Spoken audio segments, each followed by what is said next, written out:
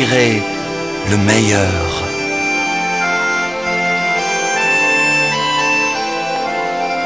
Ouvre tes bras à la détresse humaine, car ta propre détresse peut en être le ferment.